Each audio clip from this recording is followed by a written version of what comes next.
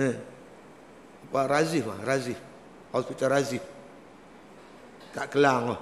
Kat hospital Kelang. Isteri saya bersalin situ. Anak pertama. Lepas tu, uh, dia panggil saya. Saya tengah sembahyang subuh, dia tunggu kat pintu apa? Pintu surau. Dia kata, Encik-encik, isteri encik sudah bersalin. Mainlah kerap pusat, dia kata.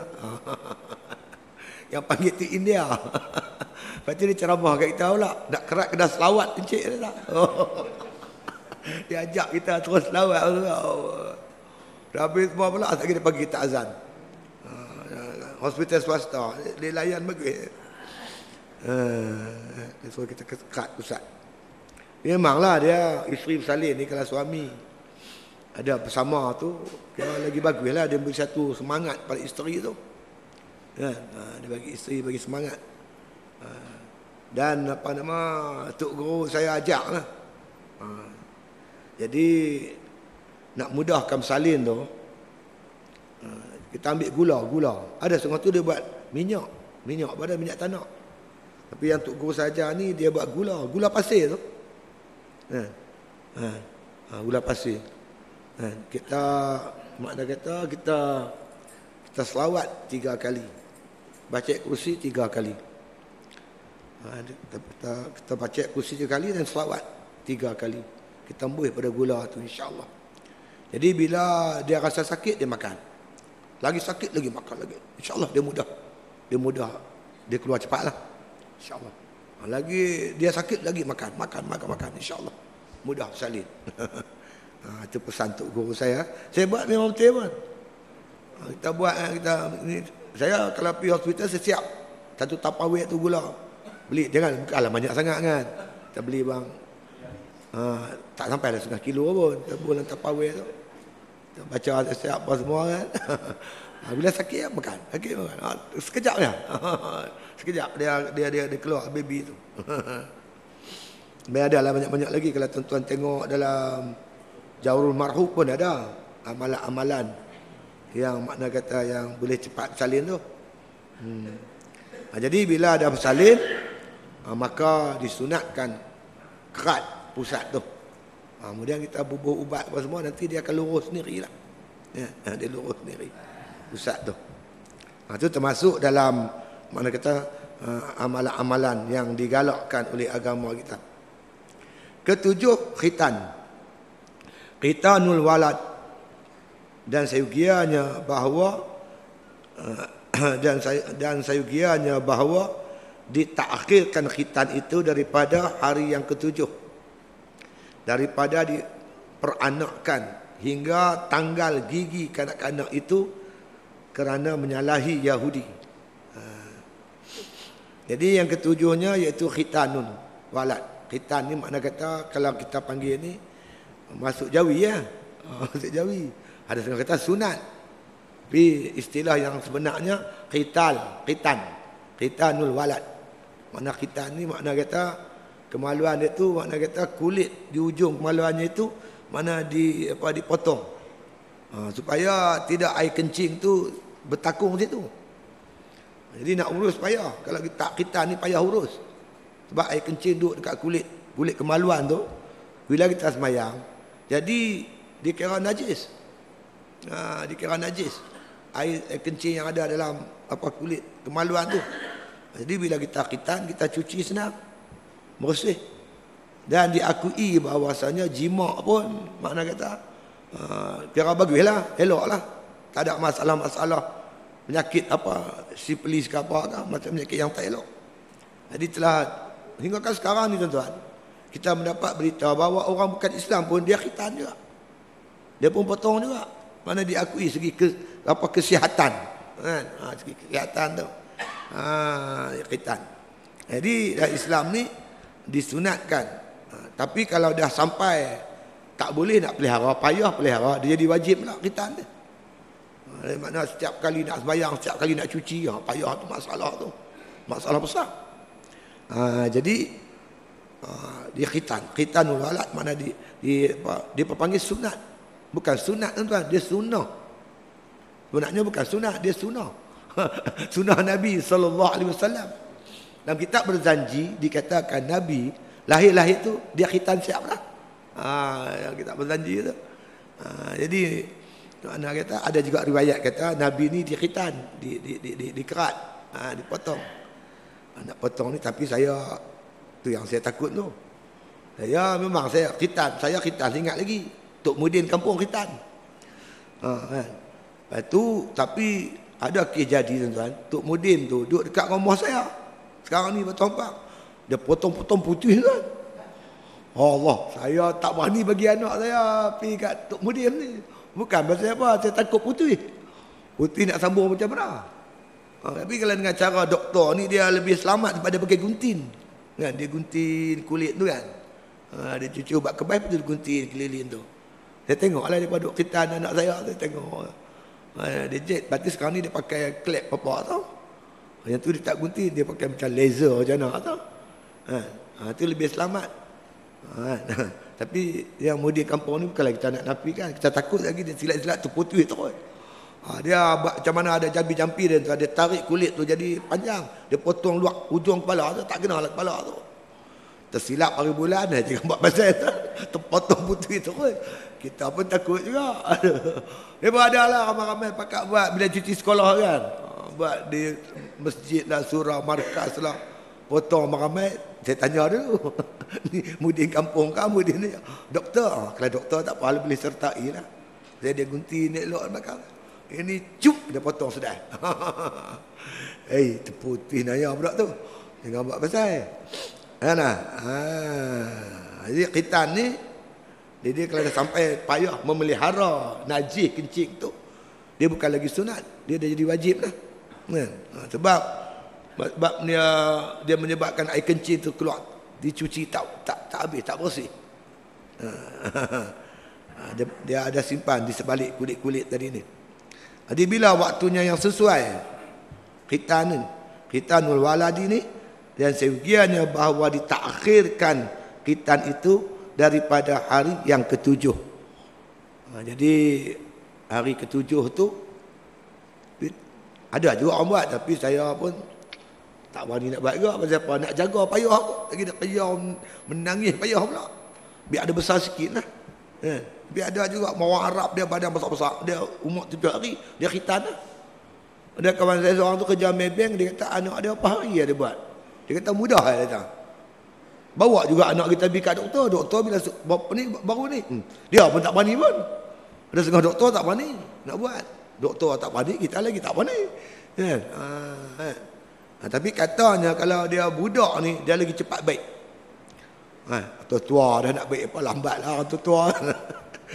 ha, dulu, dulu sungguh kami dulu masa dia khitan tu um, dah mengaji jahanam dah, nak sekolah mendengar, baru nak khitan. Dah berbulu dah, tok mudir pun takut. elok kecil-kecil ha, dah. Ha, yang paling eloknya iaitu kita takhirkan daripada tujuh hari hari yang ketujuh daripada diperanakkan hingga tanggal gigi kanak-kanak itu. Tanggal gigi berapa tahun? Gigi luruh. 8 tahun kan? Ha, macam tu lah lebih kurang lah. Ha, tanggal gigi. Ha, jangan, mana janganlah besar-besar sangat. Ha, lebih lihat pisau tak makan. Ayalah. Ha. Ha, lebih kurang 7 tahun tu eloklah 7 tahun. 8 tahun, 6 tahun. Nanti lah. Ah, untuk khitan. Uh, itu dia. Untuk memelihara kebersihan. Uh, mudahkan dia semayang, ambil wudu apa semua, bila badan bersih, baru ni. Itu kanak-kanak yang dia kata kerana perbuatan ni menyalahi Yahudi. Yahudi ni bila pula dia khitan ni? Mungkin tua-tua lah kot baru khitan.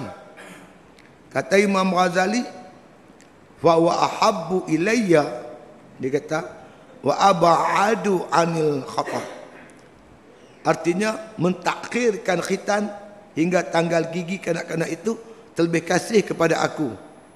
Dan terlebih jauh daripada bahaya. Kata Imam Ghazali rahimahullah taala. Berkaitan khitan ni Imam Imam Ghazali dia kata bagi dia dia lebih gemar. Makna kata tunggu sampai tanggal gigi. Ya.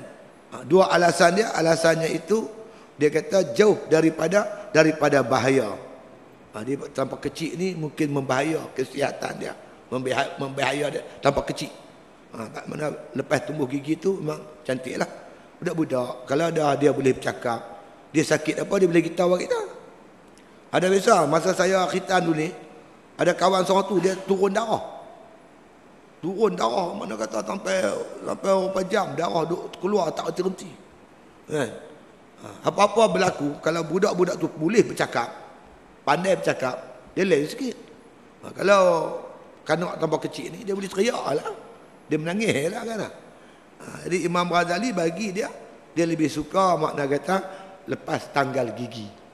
Ha, makna dia lebih kurang umur 8 tahun, 7 tahun, 8 tahun macam tu. Hmm, terlebih aku kasih kata Imam Ghazali kerana apa jauh daripada bahaya. Dan sabda Nabi sallallahu alaihi wasallam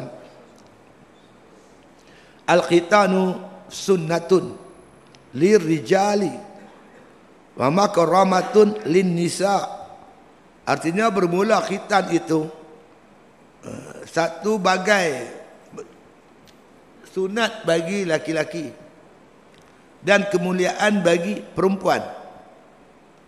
Ha, ini si, sunnah bukan sunat lah sunnah. Khitan ini sunnah bagi laki-laki dan kemuliaan bagi perempuan. Di perempuan pun anak perempuan pun di khitan. Elok di khitan. Ya, kena pergi cari apa nama ni lah. Selalunya khitan ni apa tok tok bidan lah. Ha, tok bidan buat. Ha, pergi klinik pun, hospital pun boleh kita untuk anak-anak perempuan. Kerana Nabi kata, makna kata kita ni sunnah bagi laki-laki, sunnatun lirijal, wa makramatun linisa dan kemuliaan bagi perempuan. Jadi perempuan yang dikhitan ni makna kata dia lebih terkawal nafsunya daripada yang tak di dikhitan. Ha. Jadi dia lebih mulia. Ya. Ha, itu dia. Bermula hukum khitan itu wajib atas orang yang akil. Balik sama ada ia laki-laki ataupun perempuan pada mazhab kita Imam Syafi'i radhiyallahu an. Bagi mazhab Syafi'i, khitan laki-laki ni, perempuan ni hukumnya wajib. Hukumnya wajib. Jadi wajib laki-laki supaya mudah dia memelihara kebersihan dia, kebersihan kemaluan dia, ini berkaitan dengan fakta solat dan sebagainya bagi perempuan untuk mana kata terkawal mana kata nafsunya dengan berkhitan itu ha. jadi mengikut mazhab kita syafi'i hukumnya wajib mazhab lain saya tak tahu lah kita pun tak, tak mengaji lah yang lain tu dan mengaji ni pun taklah pandai sangat apa yang ulama tulis kita baca saja insyaAllah kedelapan ha. Kedelapan iaitu janggut. Ya, janggut. Ya, janggut. Macam mana janggut ni? Nak potong sampai terang mana? Kata An-Naqa'i rahimahullah ta'ala Ajibtu li rajulin aqilin tawilun tawi tawilun al-lihiyati kaifa la ya'khudhu min lihiyatihi wa yaj'alaha baina lih lihyataini. Fa inna mutawas fa inna mutawassita fi kulli syai'in hasanun.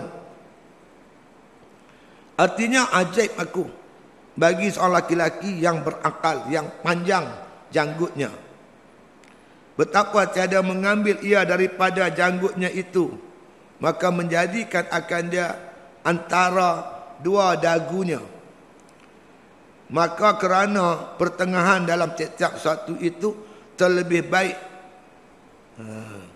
bermula makruh di dalam dikata berkaitan janggut itu ada sembilan perkara ha, jadi yang ke kedelapannya dalam menguruskan janggut janganlah panjang sangat dulu ada seorang kawan saya tu dia jadi calon calon pilihan raya Dun Terung.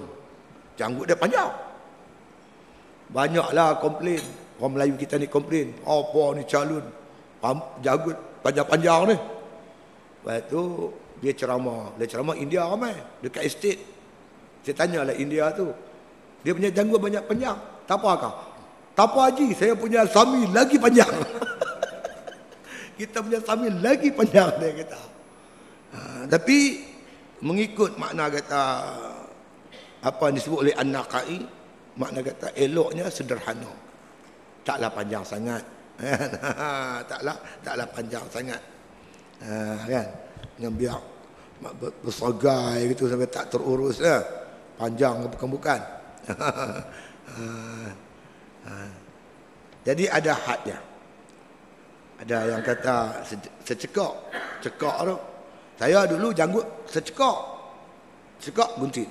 Ha itu. Bila kahwin banyak ni depa pakai pakai gunting. ada malam tu setidak-tidak bangkit bagi janggut saya pendek. Depa pakai pakai pakai pakai sama depa dia pakai potong janggut saya. Jadi pendek tu. Kalau tengok gambar-gambar lama semua janggut panjang-panjang. Ha, kalau panjang secekak lah. Ha. Hmm, depa kerak dapat jam mana? Makit bagi. Awak jaga aku pendek. Tengok-tengok dah tak ada dah. Yang mana kerak aku tak tahu. Depa pakat sama depa. kerak jaga kita. Aduh. Ah, ah, itu dia. Kata anak kain. Ajib tu li rajulin aqilin. Aku pelik melihat bagi laki-laki yang berakal tawilun lil lil lihyati. Yang panjang makna kata tawilun ni panjang, panjang bagi jang, janggut dia tu antara dua dagu. Jadi mana janggut dia panjang. Kaifa la ya'khudhu min li, li, lihyatihi faja'ala baina lihyatihi. Ha. Kenapa makna kata dia tidak jadikan janggut dia tu antara dua dagu dia tu? Antara dagu ni dengan dagu ni. Panjang mana kau lebih kurang secekak lah. Antara dagu ni ke dagu ni. Ha, panjang dia begitu saja. Tak sampai sejengkai kot. Ha, kenapa tak buat janggut macam tu? Panjang antara keduanya tu. Fa innal mutawassita fi kulli syai'in hasanun. Kerana antara mana sungguhnya mutawassit di mana pertengahan bagi tiap-tiap satu perkara tu itulah yang terbaik sekali. Ha, jangan sampai tak ada janggut. Jangan janggut terlampau panjang. Ha, bersederhana. Ha, kita nampak pun nampak cemai. Nak urus pun jadi mudah. Kalau janggut terlampau panjang, kita nak urus jadi payah pula. Jadi bersederhana. Payah ada orang komplain. Dia kata ni apa misai lah, janggut lah. Misai yang nipis, janggut yang panjang. Itu sunnah Nabi SAW. Orang mana ke? Orang dia Yahudi Kristian ni. Orang satu satu tu dia ada janggut tapi tak ada misai. Yang satu lagi ada misai tak ada janggut. Islam ni dua-dua ada. Misai ada, janggut ada. Ha, ha. Dia berkata kita pula janggut macam kambing eh. Pula dah. Mai seorang kata misai macam kucing. Iyalah, misai kucing. Janggut ni makna kata kambing. Kan? Kalau tak ada misai, tak ada janggut. Agak apa? Ada janggut, tak ada misai, kambing. Ada misai, tak ada janggut, kucing. Tak ada misai, tak ada janggut. Agak apa? apa carilah sendiri. Dia berkata babi. Wallah alam. Saya duduk pondok tuan. Ada seorang tu dia ni dia ni kira orang kanan tok guru lah kira murid tua, murid lama. Kalau tok guru tak ada, ada jadi imam. Eh. Satu hari datang satu hafiz lah, hafiz daripada mana? Daripada India ke? Daripada Afghanistan ke Pakistan ya. Dia mari pondok. Lepas tu bila mari apa waktu sembahyang kita kamat tolak dia dia tak mau. Dia kata dia Hanafi menghormati Syafi'i sebab sini semua Syafi'i. Lepas tu yang kata yang selalu jadi imam untuk guru tak ada tu dia pergi ke depan. Elok dia takbir tuan. Dia pegang bau tu imam tu dia tarik belakang. Awak tak boleh jadi imam bawa tara janggut. Rupanya mazhab apa? Janggut ni wajib. Oh, tak ada janggut tak boleh tak boleh jadi imam. di kawan ni bukan dia tak ada janggut, dia tak dia, dia tak simpan janggut, memang tak ada janggut. Janggut dia tak tumbuh. memang tak ada janggut tunggu. Dia tolak saya jadi imam. Ha ini boleh, dia ada jagut dia tak. Oh macam tu. Ha, jadi bagi kita janggut tu sunat. Mazhab Hanafi jadi wajib lah dah. Ha, jadi wajib. Tak ada janggut tak boleh jadi imam. Oh gitu. Ha, kita sunat lah. Jadi walaupun sunat, maka an-naqai dia lebih dia lebih suka makna kita kita mengambil jalan pertengahan. Tak panjang sangat dan tak pendek sangat. Ha, gitu. Bila pendek panjang ni, kadang orang tanya pula berapa inci? Apa kacau tak? Pendek berapa inci? Pernah kami mengaji dulu, cerita pasal pasal ikan. Ya, dalam kitab Muta'in Badrin. Haram makan ikan dengan perut-perutnya. Jika ikan itu besar. Halal makan ikan dengan perut-perutnya. Kalau ikan itu kecil. Ha. Jadi yang ramai ni nak tanya, depa tak tanya, depa segan. Ha. Depa suruh saya tanya. Dia kata hampa tanya lah. Tanya lah tu. Kami segan nak tanya.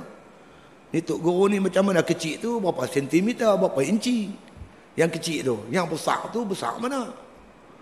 Sekira-kira, ha tu kira kira bahasa tu lama tu. Sekira-kira kalau boleh ditelan kecil. Kalau tak boleh ditelan itu kira besar. Hmm. Yang boleh telan ikan ikan bilis boleh lah. Ambil ikan bilis telan dia hidup. Boleh. Tapi ikan terbenung, ikan kembung nak telan terbeliak biji mata. Ha, jadi ikan kembung ke ikan apa-apa lah ikan ni ikan sardin ke apa makan dengan perut-perut tak boleh sebab dikira telan tak boleh ha, ikan ikan bilik nak buang perut pada lah tuan jenuh buang lah kan ikan bilik ikan kecil oh. Ha, ikan kembung tak boleh kita rebus sekali dengan perut-perut rebus. Macam dia orang buat apa ikan lengat kan. Pergilah pula pangkok saya kecil-kecil dulu saya tengok dia orang buat ikan lengat. Sekali dia masuk dengan perut-perut dengan apa dia punya air tu Allah punya hitam. Oh makan sedap tu. Ya tu yang kita makan ikan ikan apa ikan ikan kembung dengan perut-perut sekali tu. Ha, perut kena buang. Macam tenggiri masam mari daripada, daripada Langkawi tu. Orang Islam kita buat tak apa. Kalau orang bukan Islam ni dia ikut suka ya. Kena buang perut, kemudian baru kita makna kita goreng dengan garam 2 3 hari, kemudian baru kita basuh dan kita jemur. Ha, nak masak-masak pun begitu. Buang perut dia tu dulu.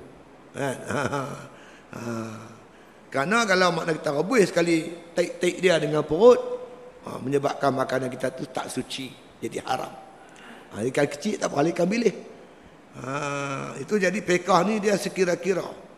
Sekira-kira. Kalau orang ramai kata kecil, kecil. Orang, orang kata ni ikan ni besar, jadi besar pula dah. Ha, kecil besar tu satu benda yang makna kata ikut suasana dan keadaan. Tapi dalam bab ikan ni, ikan yang boleh makan tu, kata Tok Guru kalau boleh telan, dia kira kecil. Tak boleh telan, dia kira besar. Hmm, itu dia. Ha, jadi ini kata nak kain. Artinya ajaib aku, aku rasa pelik bagi seorang laki-laki yang berakal, yang panjang janggutnya. Panjang, biar janggut tu panjang-panjang. Betapa tiada mengambil ia daripada janggutnya itu. Maka dia kata, menjadikan akan dia antara dua dagunya. Jadi janggut ni antara dua dagu. Dagu ni dengan dagu ni. Berapa panjang dia? Ada lima inci. Ha, cukuplah janggut tu lima inci. Itu makna sederhana lah. Antara dagu ni dengan dagu. Antara dua dagu. Dua dagu ni sejari ya kot. Jari lebih. Lebih kurang ada lah 3-4 inci. 4 inci, 5 inci. Betul lah yang disebut kebanyakan orang tu panggil secekak. Satu cekak tu. Ha, cekak tu bawah ni potong. Kira gitu. Ha, kalau dah panjang sangat tu. Jadi anak kai kata aku pelik. Kenapa dia tidak makna kata menyimpan janggut dia antara dua dagu? Ha, nah. ha, antara dua lagu tak payahlah panjang-panjang sangat. Ya. Betapa tiada mengambil ia daripada janggutnya itu, maka menjadikan akan dia antara dua dagunya. Maka kerana pertengahan dalam tiap-tiap satu itu terlebih baik. Ha, jadi yang paling baiknya iaitu pertengahan, tak panjang sangat, tak pendek sangat. Ha. Bermula makruh janggut itu sembilan perkara. Siapa nak simpan janggut Jaga sembilan perkara ni jangan kita buat pada janggut kita. Jadi makruh. Betul lah istilah makruh ni kalau kita tinggal dapat pahala kalau kita buat taklah berdosa. Tapi bagi orang yang betul-betul nak mencapai kemenangan di akhirat dia tak mau buat makruh. Sebab makruh ni yang dibenci. Perbuatan yang dibenci oleh Allah dipanggil makruh. Sunat ni perbuatan yang di, disukai oleh Allah. La yazalu yataqarrabu ilayya bin nawafili hatta uhibbahu. Sentiasalah orang nak menghampirkan diri dia kepada Allah itu, nak bertakarub dia akan Allah, dia boleh mendekatkan diri dengan kepada Allah Taala bin nawafil dengan mengerjakan amalan-amalan sunat. Hatta uhibbahu hingga membawa dia dikasihi oleh Allah. Ha, jadi untuk mendapat kasih sayang Allah buat yang wajib, buat yang sunat. Jadi yang makruh ni dibenci oleh Allah. Jadi kita cuba jauhi. Termasuk orang-orang yang menyimpan janggut. Ha, jangan buat makna kata lapan, sembilan perkara ni. Pertama, menghitamkan janggut yang putih kerana menyupai bagi orang muda. Ha, demikian itu ditegah oleh Nabi SAW. Janggut dia putih. Dia nak habak kata dia muda, dia buh hitam. Dia buh cat hitam, dye apa semua lah warnakan janggut dia tu dengan warna yang hitam. Ha, itu makna kata hukumnya makruh. Ha, bila janggut tu dia hitam, yang tu ada bila dia panjang sikit dia tumbuh lagi, panjang sikit jadi warna campur putih hitam dah. Ha, jadi lama-lama dia jadi ada hitam ada putih. Yang baru keluar apa putih, yang lama dye tu jadi hitam. Ha, tapi kalau kita berinai tak apa. Terutama waktu perang. Perang dengan musuh kan. Duk pi perang semua rambut putih, janggut putih, misai putih. Dia hmm, kata musuh kata yang main semua tua-tua lah. Tapi kalau pakai janggut tu dengan ini nampak merah, garang wah. Tu okey lah, cantik lah. Ha, tapi nak buh hitam tak boleh. Itu ditegak oleh Nabi SAW dengan katanya. Kenapa dia buh hitam? Nak bagi nampak muda. Ha, jadi kita ni jangan Biar uban kita tu putih tak apa. Biar nampak uban tu. Tengok uban kita teringat kita dah tua. Buat persiapan cukup-cukup untuk kembali kepada Allah Subhanahu Wa Taala. Ha, makna kata bubuh dai bodai hitam pun, bubuh hitam pun, bak plastik sejari pun, tapi enjin dalam tu dah dah dah dah dah, dah tua dah. Hamba cat baru kereta pun tapi enjin dia dah tak larat. ha, DJ dah tak larat nak jalan dah. Ha, lagi KO terus. Jangan. Ha, jadi janganlah kita makna kata tujuan kita tu bodai tu untuk bagi orang kata kita muda. Tak boleh. Kerana Nabi SAW kata dengan katanya, sabda Nabi, khairu syababikum man tashabbaha bisyuyukhikum. Khairu syababikum Makna sebaik-baik pemuda-pemuda kamu. Man tashabbaha mereka-mereka yang menyerupai bisyuyukhikum, menyerupai dengan syekh-syekh orang tua mereka. Orang muda dia belagak tua. Bagus Nabi kata bagus. Eh, dia muda umur baru 20 tapi buat macam orang tua pakai serban, pakai jubah. Eh, jumpa orang hormat, cakap lembut kan. Eh, mai masjid, Orang muda Orang muda Belagak tua Nabi kata bagus Ha. Ha. Wa syarru syuyukhikum. Sejahat-jahat orang tua kamu. Man tashabbaha bi syababikum. Iaitu orang tua yang menyerupai pemuda-pemuda mereka itu. Dia tua belagak jadi muda. Oh, rambut dia bu hitam apa semua jagut-jagut bisa semua hitam. Lepas tu ambil sikat lagi. Cip. Ah, sikat. Sikat rambut. Cip. Bersih lah tu. Naik bas duduk sebelah perempuan. Mengorat lah perempuan tu. Apa je orang tua. Orang tua belagak muda. Wuduh kan. Tapi kalau budak muda belagak orang tua memang cantik. Ha. Ada seorang pak menekan saya. Ha. Dia mak itu ada kenuri. Kenuri apa? Kenuri lah. Bila kenuri ni adik-adik perempuan lah. Dia tengok-tengok saya, saya umur lebih kurang dalam dua, tiga puluhan, uh, dua puluhan saya dah pakai serban jubah semua dah. duduk kerja apa kerja di sini sebagai serban kerja section 17 biji saya ada pakai serban dia pindah pindah apa pakai serban kebetulan hari tu mak mereka buat kenuri. Pun pun ada adik jadi pak mereka dia kata amboi hang sidik. Hang ni dengan pak hang ni dapat pak hang muda pada hang lagi. Pakai lagu ni macam orang tua dia kata gini lah Pak Long. Saya ni iman lemah. Bila iman lemah kita kena pakai cara orang tua eh? Nak kacau perempuan kita. Tak tergamak dengan pakaian yang kita pakai. Bukan saya alim. Pakai-pakai lagu ni ni supaya pendinding. Ha, tak patutlah kita pakai jubah sobat orang azan kita tak pergi masjid. Eh, jadi paling tidaknya dapatlah pertahan diri saya. Teratulah mai seorang lagi kata Pak Long orang muda berlagak tua cantik Pak Long. Tapi kalau orang tua berlagak orang muda uduh ha, uduh tak elok ha, rupanya ada hadis Nabi sebut Sebaik-baik makna kata pemuda kamu itu yang bertasyabuh, yang menyerupai orang tua. Cara pakaian dia, cara lagak dia, perangai dia macam orang tua. Eloklah tu kata Nabi. Ha, wa syaru syuyukhikum man tashabbaha dia kata bisyababikum. Seburuk-buruk orang tua kamu iaitu yang berlagak macam orang muda. menyerupai orang muda tu tak elok. Ha, artinya sebab baik orang muda kamu itu iaitu orang yang menyerupai dengan orang tua kamu. Ha. Dan sejak jahat orang tua kamu iaitu orang yang orang tua yang menyerupai dia kata dengan orang yang muda. Ha. Tak kira lah lelaki perempuan. Ada juga uh, kita tengok orang perempuan walaupun dia tua dia berlagak macam muda. Orang pangai itu betul-betul macam orang muda. Aduh lagi leceh. Lagi tak tak, tak pakai. Ha. Kata Imam Ghazali rahimahullah taala murad yang dimaksudkan dalam hadis itu dengan diserupakan orang muda dengan orang tua itu iaitu serupa pada kelakuan orang yang tua yang berakal. Bukan serupa dia kata orang tua yang memutihkan uh, yang memutihkan janggut pada memutihkan janggut. Ha, jadi maksud hadis Nabi ni kata Imam Ghazali sebab baik anak muda kamu yang menyerupai orang tua. Bukanlah maksudnya orang muda dia ada janggut hitam dipubuh cat putih pula. Orang nak bagi tunjuk kata dia ni perangai lagu orang tua janggut dia hitam dia pergi bubuh janggut putih. Bukan yang tu kata Imam Ghazali. Ha, nak tunjuk aku ni tua dengan bubuh cat putih pula, dai putih pula. Kalau betul. Bukan macam tu.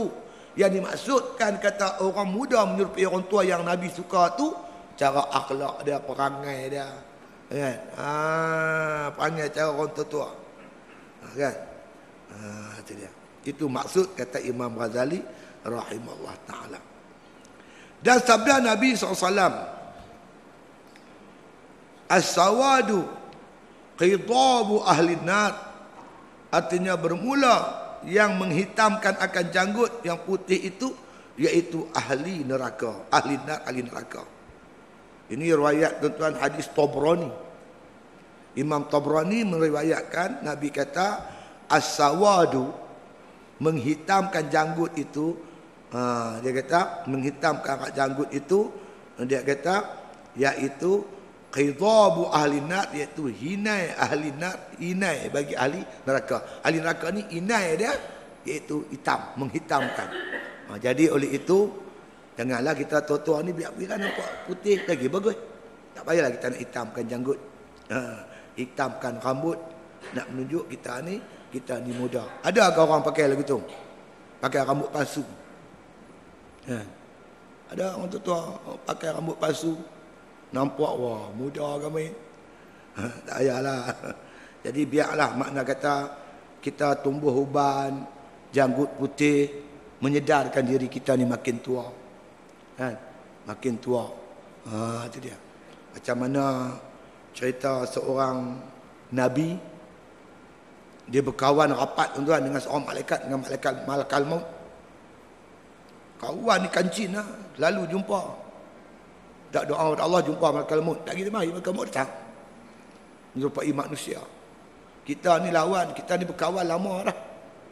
Minta satu boleh tak? Maka Maut kata boleh. Tapi jangan minta tak cabut nyawa. Sebab cabut nyawa tu kerja aku. Minta yang lain. Aku bukan minta tak cabut nyawa. Aku minta sebelum kamu cabut nyawa aku bagi signal. Bagi bagi signal. Signal ni bagi amaran. Bagi tanda-tanda.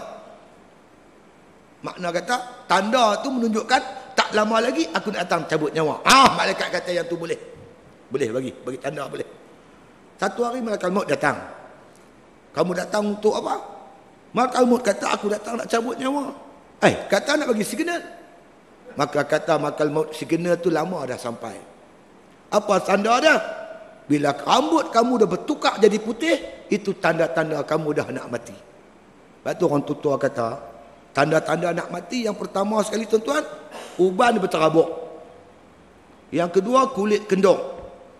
Yang ketiga mata kabuk. Yang keempat gigi guguk.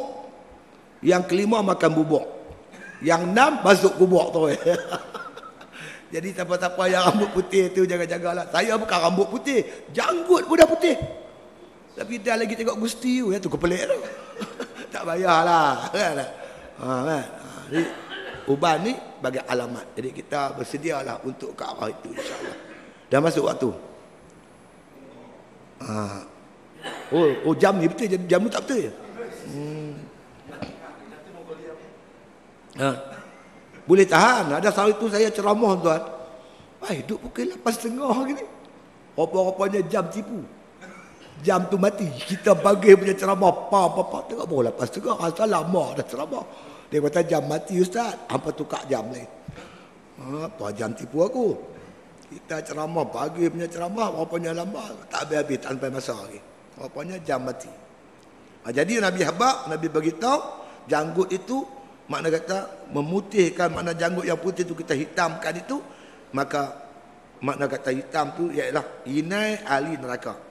Pada satu riwayat yang lain. Ha, ini riwayat Al-Hakim. Nabi kata, Nabi bersabda, al-qidabu bis bis bis bisiwat. Al-qidabu bisiwat qitabul kuffar. Bermula berhinai janggut dengan hitam itu iaitu hinai orang kafir kata Nabi sallallahu alaihi wasallam. Kita ambil buat inai ke inai ke dai ke apa-apalah bahan-bahan untuk menghitamkan janggut itu maknanya hinai orang kafir ha, hinai orang orang kafir jadi makna Nabi larang lah kita makna kata menukarkan janggut yang putih ni kepada makna kata kepada hitam. Jangan kita buat macam tu. Ha. ha. makna benda ni ada lah. Kalau tak ada takkan Nabi nak cakap. Ada orang. Ha, jenis macam ni. Dia tipu diri lah. Dia tua. Mengaku tua lah lah. Bapa juga kita ada hitam sana hitam sini. Ya. Ha. Dan kerana inilah kata setengah ulama haram menghitamkan janggut yang putih itu melainkan kerana perang sabil. Jadi oleh itu ulama kata hukum menghitamkan janggut ni hukumnya haram bukan makruh haram. Kecuali ada sebab. Sebab apa? Sebab kena perang. Ha, untuk menunjukkan bahawa yang datang ni orang muda-muda untuk menggerunkan musuh ha, maka di, mana di dihinailah rambut itu dengan kala hitam janggut kepala hitam ha, supaya nampak yang datang ni semua orang muda-muda orang hebat-hebat ha, atas tujuan perang saja yang dibenarkan menghitamkan rambut ataupun janggut. Ha itu dia. Untuk bukan dengan tujuan tu, tujuan tak ada tujuan apa-apa ni, hukumnya kata setengah ulama haram. Ha itu yang pertama. Yang kedua makruh memutihkan janggut yang hitam dengan belerang supaya kelihatan tua maka ditakzimkan oleh orang akan dia kan demikian itu ditegak oleh syarak begitu juga janggut yang hitam Kemudian kita putihkan dengan belerang. Oh, ada pakai belerang oh, dia boleh dia boleh putih janggut. Buah belerang apa lumuk-lumuk belerang, lepas tu buang semalam, esok pagi basuh. Janggut tu bertukar hitam jadi putih. Dengan tujuan supaya orang kata dia orang tua, orang tawaduk, meredah diri. Uh, itu pun tak dibenarkan oleh oleh syarak, ditegah oleh syarak. Sama ada tegah tu, tegah makruh lah di sini. Itu disebut makruh. Ha, makruh kita memutihkan janggut yang hitam dengan belerang supaya kelihatan tua. biar nampak kita ni jadi orang tua maka ditakzimkan orang akan dia orang takzimkan dia orang mulia akan dia besarkan dia sebab orang sangka dia orang tua padahal dia orang muda kerana demikian itu ditegah oleh ditegah oleh oleh syarak. Ha, kemudian ketiganya makruh mencabut uban. Makruh mencabut uban daripada janggut. Dan sungguhnya menegahkan dia oleh Rasulullah sallallahu alaihi wasallam daripada mencabut uban itu. Ha. dengan sabdanya wa nurul mu'mini ya. Ha itu dia. Wash washibu nurullah. Wa rughbata dia kata anhu rughbatan min an, an anin nur. Bermula uban itu satu nur mukmin dan uban itu nur nurullah. Barang siapa benci daripada uban itu saya benci akan nur. Jadi orang ada ubat mana dia mendapat nur daripada Allah Subhanahu Wa Taala. Jadi tak payah kita cabut. Biar uban tu ada kepala kita. Ha, mana kata di kepala kah di janggut kah di misai biar dia putih tu tak apa. Insyaallah. Kita sambung akan datang azan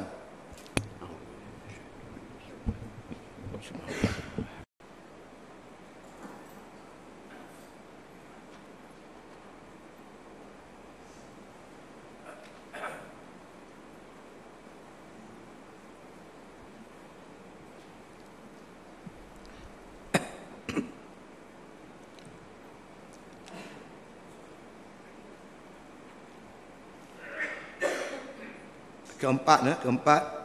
Kau makruh dilakukan. Mereka yang ada janggut. Makruh mencabut segala janggut atau setengahnya. Kerana datang hadis daripada Sayyidina Umar Ibn Khattab radhiyallahu an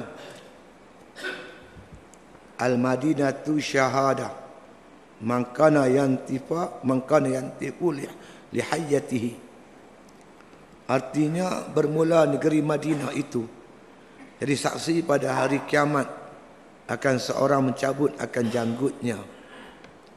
Ha, ini kelima. Jangan cabut janggut. Mana bila cabut tu, makna kata dia makin kurang lah. Kalau gunting tak apa. Ya, cukok tak boleh. Dia mesti ada juga janggut tu kena ada. Cabut atau cukok tak boleh. Kalau gunting, kalau lebih had panjang dia, kita gunting tu tak apa dilarang. Kerana di akhirat besok Madinah negeri Madinah akan menjadi saksi mereka yang mencabut janggutnya. Ha, mengikut hadis daripada Umar Al-Khattab. Kelima makruh mengurangkan janggut pada adat daripada adat yang pertengahan. Dan lebih akan dia daripada adat yang pertengahan. Makruh mengurangkan janggut daripada makna kata pertengahan ada sejemput sikit ya. ada dia di tak tahulah mufti ni ada janggut tak mufti ada mufti tak ada janggut tak? dulu masa Syedan Kasim ah, dia jadi menteri menteri besar pelik jadi masa tu dia sekarang saya tak tahulah dulu mufti tu dia dia bertaraf esko dia bertaraf esko ha, jadi esko-esko kerajaan negeri Perlis ni dia kena masuk watania masa Cik Dan Kasim. Bila masuk watania kena kena cukup jagut ha, jadi mufti masuk watania dia pun kena cukup jagut. Ha, cukup jagut tak boleh. Ha, kerat tak apa. Lebih pada had kita boleh kerat. Cukup jadi hukumnya makruh. Itu mazhab kita lah. Tapi kalau Imam Hanafiah Imam Abu Hanifah bagi dia hukumnya haram. Cukup janggut tu Kan? Kerat boleh. Ha, cabut, cabut tu macam cukur lah. Ha, cabut, cabut tu pula jadi tinggal sikit. Daripada beradat. Maka hukumnya makruh. Begitu juga.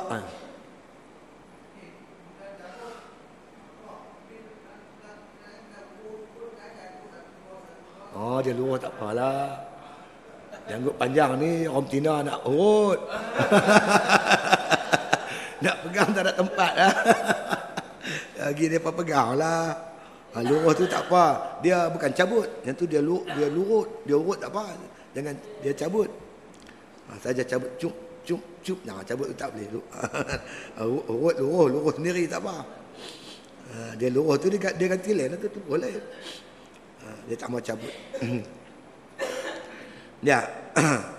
ha, jadi uh, makna kata pertengahan ataupun kita kita biar panjang sangat pun tak elok ataupun pendek sangat pun tak elok. Terlampau pendek pun tak elok. Yang eloknya pada adat yang pertengahan.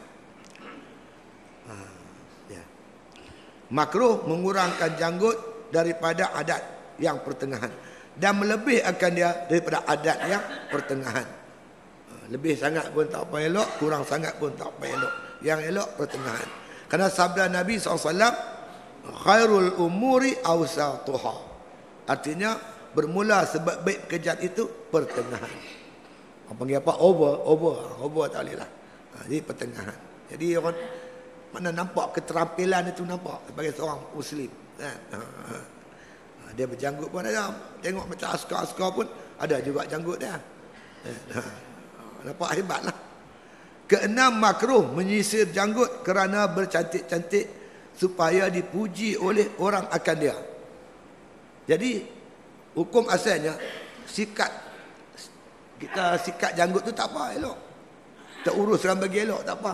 Yang tak bolehnya kita niat aa, ha, niat supaya makna kata aa, orang puji kita. Niat orang puji tu yang tak boleh. Ha, kalau kita makna kata kita saya memang kita nak urus diri kita dengan tak ada niat apa-apa. Kita suka menjadi satu orang yang teratur. Ada seorang tu saya tengok Namanya Datuk K. Johari. Kebetulan pula nama dia Datuk K. Johari. Dia duduk ni, dia orang parit. Kan? Dia bawa saya melawat tuan-tuan. Dia melawat kebun dia. Oh cantik sungguh. Pagaknya cantik, rumputnya semua cantik. Ah, saya tak boleh Ustaz kata. Belungguk sana sampah, belungguk sini sampah. Terbiar segala. Eh, dia memang tak suka. Kalau tuan-tuan pergi melawat tengok kebun derian pun cantik. Ya. Lawa dia. Dia tanam apa, dia tanam tanaman dia memang cantik. Ha, kalau kita jadi orang yang suka mengurus diri kita bagi cantik, cukup bagilah.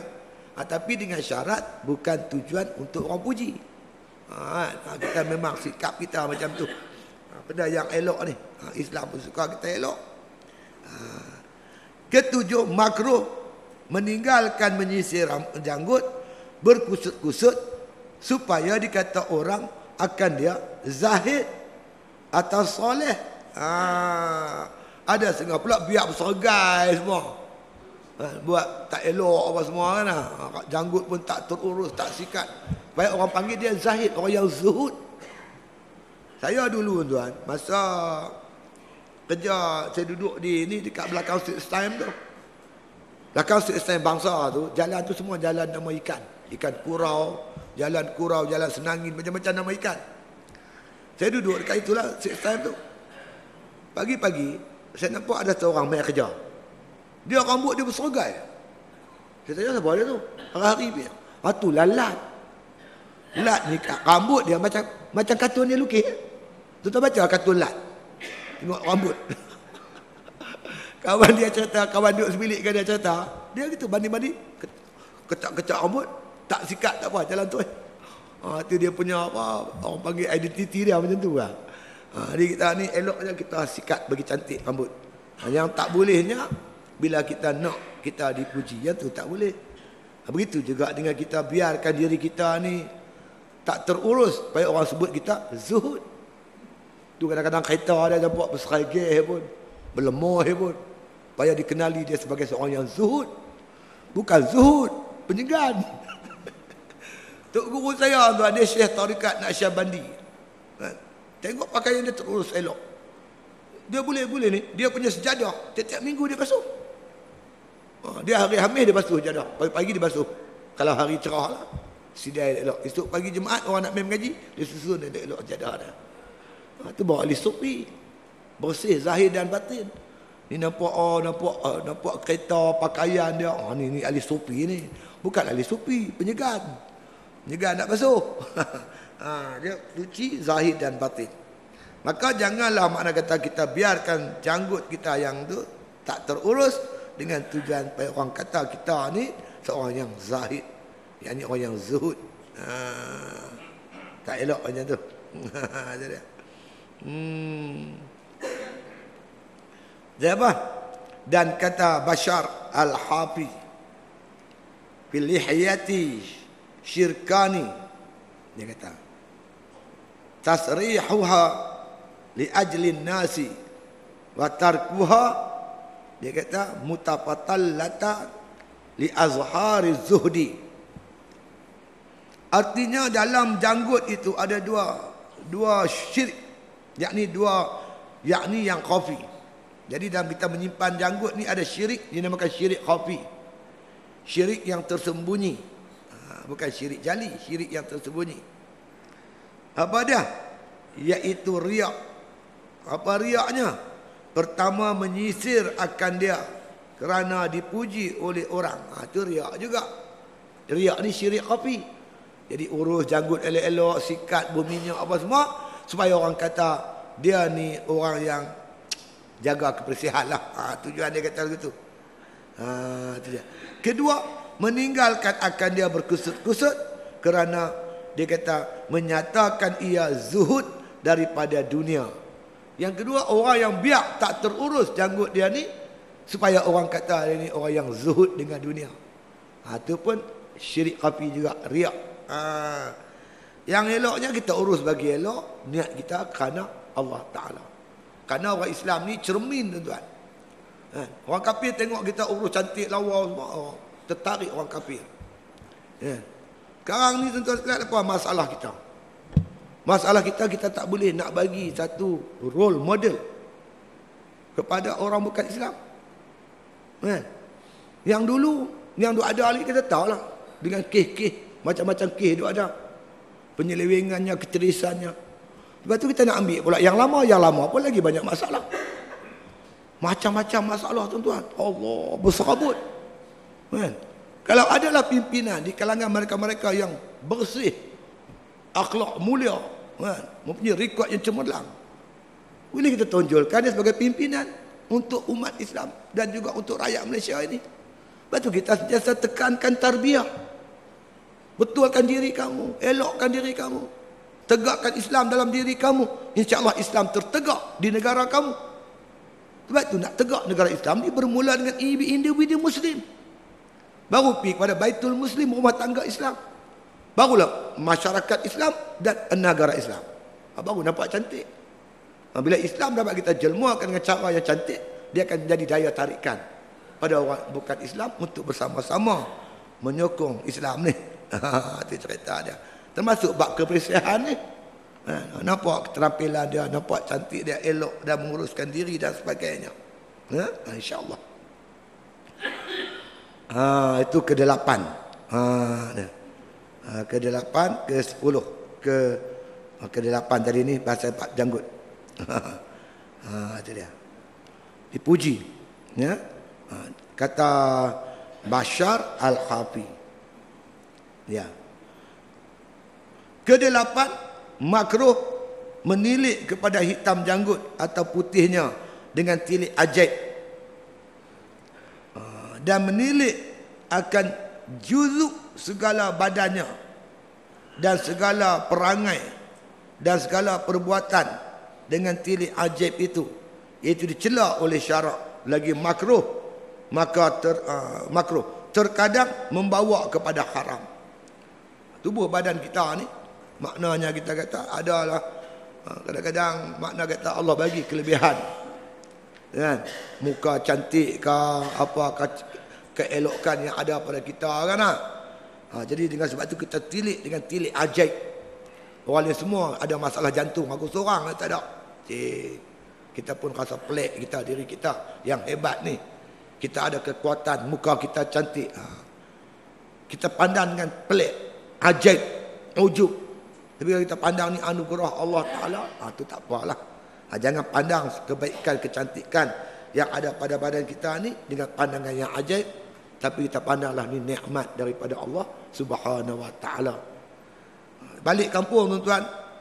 Tengok kawan-kawan macam-macam macam-macam masalah. Kan? Ada yang kencing manis duduk atas kursi roda. Ada yang kena potong kaki. Kan? Kita ni tua pada depa. Kita tengok kita ni alhamdulillah lah. Syukur banyak-banyak kepada Allah Taala. Jangan rasa ajib. Ha, depa mana tak kena potong kaki, makan gula banyak. Lah tak makan gula pun kena tuan. Nak mati ni bukan nak ni bukan. Ada kawan tu tuan dia pi dia pi klinik. Dia pi klinik. Dia benar cek-cek tahu dia cek. Cek. Doktor cek. Kita pun kena cek juga. Kadang-kadang tersumbat jantung kita, kita tak perasan. Cek-cek doktor kata semua clear. Buah pinggang sehat, jantung elok. Semua elok. Dia keluar-keluar daripada daripada klinik senyum. Pasal apa senyum? Semua elok. Man, lintas-lintas jalan, kereta belah. Mati tu. Ha. Dia tak ada sakit jantung, tak ada masalah buah pinggang, tak ada kencing manis, tak ada kolesterol. Nak mati, kena langgar, mati juga. Ha, nak mati ni kan dia kira sakit jantung ke apa kan dia tak kira. Ha, jadi oleh itu kita jangan bangga dengan diri kita ni. Ingat semua ni nikmat Allah Subhanahu Wa Taala. Tapi yang pentingnya kita kena bersedia untuk mati. Bukan mati yang ada penyakit ya, yang tak ada penyakit pun boleh mati bila sampai masa yang dikendaki oleh Allah Subhanahu Wa Taala. Ha, jangan pandang dengan tilikan ajaib. Ha, kerana kata ulama Ha, itu semua tu makna kata ha, itu semua tu dia kata ha, perkara-perkara yang boleh membawa kepada kepada makruh. Ha, bahkan kadang-kadang dia kata menjadi perangai macam tu boleh jadi haram. Kesembilan harus dia kata memutihkan janggut dan dia kata menguningkan akan dia menguningkan janggut kerana perang sabilullah supaya menghebah. Menghebah ni bagi nampak hebah hebat. Akan kufar. Maka jika tiada demikian itu maka iaitu dicela oleh syarak dan kata setengah ulama dia kata sunah sunat memerahkan janggut jikalau bukan kerana menghitamkan akan kafir meng, bukan kerana menghebatkan akan kafir sekalipun uh, dengan khasat mengikut sabda Nabi sallallahu alaihi wasallam jua. Dan jangan mengkhasatkan yang lain daripada itu. Ha, lain daripada itu. Dan jangan mengkhasatkan yang lain daripada menghitam menghebahkan kafir. Dan sungguhnya bersabda Nabi SAW dengan katanya asuf ratu qitabul muslimin. Wal humratu qitabul mu'minin. Bermula mencabut mencelup janggut dengan kuning iaitu pakaian akan muslim. Dan mencelup janggut dengan merah itu iaitu pakaian dia kata bagi mukminin dan adalah mereka itu mencelup janggut merah itu dengan hinai dan mencelup janggut kuning dengan kema-kema kema-kema ha? bukan koma-koma Kema-kema ni dia macam kunyit lah, kunyit. Ha, dia macam kunyit, pokok dia macam pokok kunyit. Kema-kema nama. Ha, jadi celup dia tu dia jadi macam inai. Dia tukar warna kuning. Dan haram, dia kata mencelup janggut yang putih dengan hitam. Dan Allah setengah ulama mencelup janggut dengan hitam kerana perang sabil. Dan demikian itu tiada mengapa dengan dia apabila dia kata benar niatnya dan tiada ada dalamnya itu hawa nafsunya dan syahwatnya. Ha, jadi yang ke yang mana kata yang ke sembilan ni berkaitan dengan celup janggut. Jadi boleh dicelup janggut dengan warna kuning ataupun warna merah. Termasuk boleh celup dengan warna hitam. Kalau untuk tujuan perang sabil. Ha, tapi kalau tak perang, bukan kerana perang, boleh celup dengan warna kuning, warna merah kerana mengikut mak dia kata apa sabda nabi. Nabi suruh. Nabi kata boleh mencelup janggut dengan kuning ataupun merah. Jadi kalau kita nak celup janggut kuning dan merah letakkan dia punya niat kerana nak ikut sunnah nabi sallallahu alaihi wasallam ha, kalau tujuan lain tu tak boleh ataupun tujuan berperang ha, supaya nampak makna kata hebatnya Ha, kita ni hebatnya Islam ni menggerunkan musuh-musuh Allah Subhanahu Wa Taala. Kalau bukan dengan tujuan tu tak dibenarkan oleh oleh syarak. Ha. Jadi nak buat lagu mana? Yang tak ada janggut ni simpan-simpanlah janggut. Eh dapat pahala tuan. Bukan gaduh buat apa. Simpan dia janggut. Dapat pahala dah. Ha, cuma jangan buat benda-benda yang disebutkan sembilan perkara tadi yang boleh menyebabkan hukumnya jadi jadi makruh. Ha, eh. Biar orang kata api lah. Eh, orang kata amboi dakwah sangat berjanggut. Ya biar orang kata api lah. Lama-lama tu tuan kita rasa sayang pula dengan janggut kita ni. Ha, jadi kita simpan janggut tidak terlampau panjang dan tidak terlampau terlampau pendek kan. Ha, semata-mata nak ikut sunnah ataupun ajaran Nabi kita Muhammad sallallahu alaihi wasallam. Wallahu wabillahi taufik wal hidayah. Jadi habislah tuan-tuan bab taharah. Saya ulang balik ambil masa sikit baru 5 minit. Taharah ni tuan-tuan sekalian. Pertamanya kita suci daripada najis badan pakaian kita untuk mengerjakan solat dan sebagainya. Suci daripada hadas kecil dan hadas besar. Yang ketiga kita sucikan makna kita daripada yang cemar-cemar dan juga lebih-lebih daripada tubuh badan kita yang disebut sebentar tadi. Ha, itu.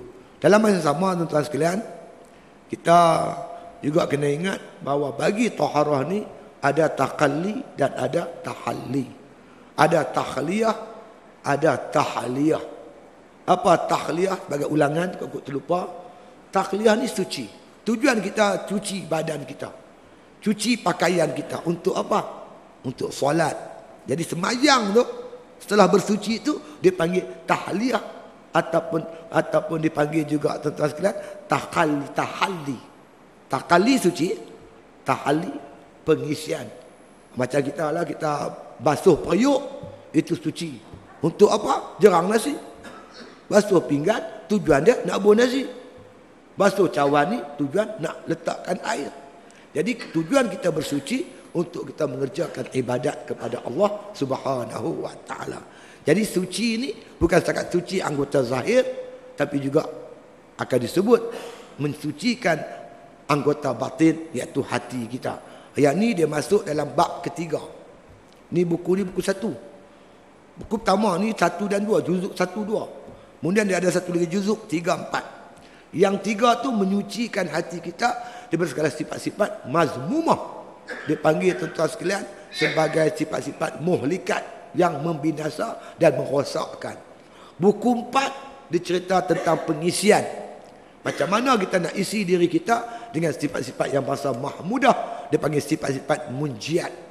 Ha, jadi sifat mahmudah tak boleh masuk dalam hati kita. Selagi hati ini kotor dengan sifat-sifat mazmumah cucikan hati kita daripada takabur barulah tawaduk boleh masuk. Sucikan hati kita daripada riak supaya ikhlas dapat masuk. Ha, jadi melengkapilah makna kita kata bab taharah ni bila berlaku penyucian zahir dan batin insyaallah. Kita berhenti sini dulu. Lepas ni kita akan masuk al-babus sani bab yang kedua fi asraris salah pada menyatakan rahsia-rahsia semayang. Habis bab taharah baru masuk bab semayang jadi kita sambung akan datang jika diizin oleh Allah. Jadi sebelum tu tuan-tuan, habak awal-awal lah. Tahun ni insya-Allah ha, kita ada lembu tujuh ekor untuk dikorbankan mana pada hari korban yang akan datang. Jadi siapa-siapa yang rasa nak buat korban di tempat saya, saya amat ala lukalah boleh hubungi dengan saya insya-Allah. Ha, tuan boleh datang pada hari korban tu boleh ambil daging dibawa balik sebahagiannya dan sebagian lagi kita bagi kepada orang miskin, orang kampung sekitarnya dan sebagian lagi kita kita bagi kepada para pelajar tahfiz kita uh, untuk mereka makan sepanjang pengajian mereka di ma'had kami itu insya-Allah. Jadi siapa nak berhajat tu boleh hubungi saya lah insya-Allah. Kita bagi tahu awal kerana uh, lembu kita sekarang ni ada tujuh ekor. Kira-kira tadi ni kira-kira ada lapan ekor, sekor kita nak buat benih yang tujuh lagi insya-Allah kita nak korbankan hari raya korban ni insyaallah. Jadi alhamdulillah sakat ni tuan-tuan lembu kita ada 58 ekor. 58. Jadi tuan-tuan duk bagi duit tu kita impun-impun ada 5 ribu beli 3 4 ekor. Ada 2 3 ribu beli 2 ekor. Macam itulah. Ha, InsyaAllah sehari dua ni kebau sampai. Kebau kita ada 4 ekor. InsyaAllah sehari dua ni ha, tuan kebau kita saya akan tak lagi 5 ekor. Itulah kita guna duit kita tu sebagai pelaburan. Lembu kebau ni untuk makna kata ekonomi pondok kita lah insyaAllah. Saya cita-cita satu hari nanti jika diizinkan oleh Allah kalau betul-betul mempunyai kekuatan yang cukup kita akan beri pengajian percuma. Semua pada pelajar kita insyaAllah. Ha, kita akan bagi insyaAllah dengan izin Allah. Jadi saya nampak cerah lah. Nampak nampak tu rasa cerah kan jadi saya ni kalau hati tu rasa sedap ya rasa jadi masa nak kahwin gitu lah ha, hati tu rasa rasa ringan ya dia jadi suku ha, dia jadi suku Uh, isteri saya yang keempat tu isteri ketiga pergi Minang. Rasa mula berat. Awak tak berat. Umur dia dengan umur saya beza 40 tahun. Ha, masa kahwin tu dia baru 17. Saya dah 57. Ay, tak boleh pi saya kata tak boleh pi. Ha. Ha, tapi hati tu rasa macam ringan pula. Tahu macam mana isteri saya yang ketiga kata, tak apalah bang, saya pergi Minang dia kata. Oh, nombor tiga apa? Nak pergi Minang. Oh? Pi nombor tiga min. Mak dia bagi terus ya. Ha, jadi bab lembu ni pun rasa macam tu. Rasa ringan di hati. ha, rasa macam nak jadi ni kata. Ha, InsyaAllah lah tuan-tuan. Dengan izin Allah. Cuma minta tuan-tuan tolong doa. Ada sikit pengkhianatan lah. Tak dapat kita nafi lah. Tapi kita usaha lah. Baru-baru ni tuan-tuan lembu tu besar. Lembu betina. Besar lembu tu. Cergah elok. Tak ada masalah. Pagi-pagi tu saya buka lepas-lepas kuliah subuh saya tengok lembu saya tu dia dah tidur Allah. Saya gerak-gerak dia dia tengok saya. Saya pun duduk mengaji juga bab-bab jabatan haiwan pun duduk bagi apa veterinary duduk bagi taklimat ni. Dia kata lembu kita kalau letih kita bagi makan ayak gula atau bagi minum 100 plus. Bagi minum gula lu entah nak beli 100 plus. Duduk elok tegak gitu. Lepas ni Zuhur tengok ni balik. Ai dia kata ni kacau ni. Nama ambil tu saya sembelih lah. Ha, tapi hayat mustakhirah lah kuat lagi dia tu. Saya, takut jadi apa-apa dia, rugi saja kita sembelih bagi budak makan. Bila sembelih kita lapar daging apa semua tuan. Perut dia tu dalam perut dia tu. Ada dawai mata punai. Dawai pagak tu duduk dalam tu. Jadi tak mungkin lembu dia tak pi, dia tak pi makan kalau dawai-dawai ni tak makan, dia makan rumput. Macam mana boleh ada dalam perut dia? Oh, maka Pak Tam yang jaga lembu ni bagi tahu saya ustaz. Tak tahu lah ustaz dia kata. Dalam bab seminggu ni saya jumpa macam-macam dalam makanan dia. Ada ketul-ketul batu, batu, batu konkrit tu. Mana lama kita dia punya tong tu 60 galen punya tong. Tong tangki air ni kita beli 5 biji. Bagi lembu tu makbuh. Kita potong napia, kita buh garam sikit kita buh dalam tu. Dia makan memang laju. Lepas tu ada batu. Siapa nak buah batu dalam tu?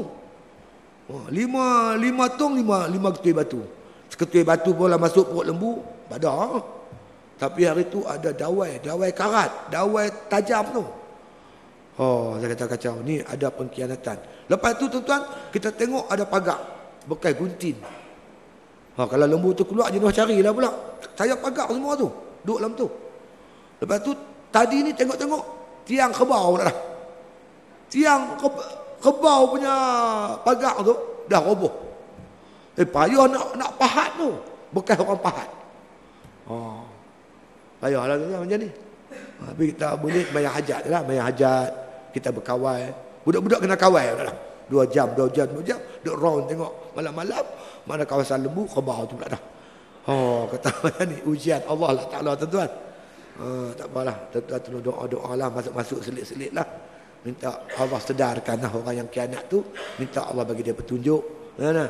sebab kita nak buat ni bukan nak untuk apa untuk pelajar-pelajar kita ha? apa makna kita benteng pertahanan yang paling kukuh nak harap undang-undang yang ada dah tak menyebelahi kita tuan dah masuk Islam pun dah mahkamah kata tak sah Islam lagi ya Islam tu majlis agama Islam perak Islam kan anak Nek Ridwan 9 tahun dulu ha? mengikut undang-undang yang ada. Itulah mahkamah persekutuan pula. Lagi kata kita lawan mahkamah pula. Ha, payahlah. Dah Islam, tuan-tuan bayang. Ridwan ni, bagi anak dia azan, hafal Quran pakai tudung. Semayang semua elok baca Quran, hafal Quran. Tiba-tiba Islam dia tak sah. Ai, kacau ni kok mana cerita. Ha, ni. Tapi itulah saya susah hati. Bukan susah hati apa tuan-tuan. Dia tak sama kita dengan dulu. Tahun bulan Disember tahun 50. Seorang perempuan gadis tapi dah kahwin lah. Namanya Natrah. Natrah ni anak orang Belanda. Bila Jepun serang Malaysia, tanah Melayu, pak dia ni nak lari. Bila nak lari, serahkan anak dia ni kepada satu keluarga Islam di Kelantan. Lepas tu, dia besarkan Natrah dengan agama apa semua. Kemudian sampai masa bagi kahwin. Datang pak dia balik ke mati, tuntut balik anak dia. Kalau anak dia diserahkan balik kat dia, tentulah anak tu masuk Kristian. Jadi Kristian. Bercara, bercara, berkali bercara, akhirnya bercara di Singapura. Bulan Disember, sebelah Disember, tahun 50. Saya ingat lagi sejarah tu. Tuan-tuan sekalian, hakim buat keputusan bahawa Natrah mesti diserah kepada bapa asal dia. Allah tuan-tuan. Natrah peluk mak angkat dia, dia tak mau. Jangan murtadkan dia, dia kata. Jadi orang dalam mahkamah tu tuan-tuan sekalian dia tengok situasi itu semua bangkit merusuh. Nak mempertahankan polis tarik Natrah. Mereka buat lari. Natrah. Ha, jadi dah jadi haru biru dalam mahkamah. Ada seorang polis tuan dia pakai dia polis, dia buang uniform dia. Dia menyertai umat Islam menentang kemurtadan usaha untuk murtadkan Natrah. Itu dulu.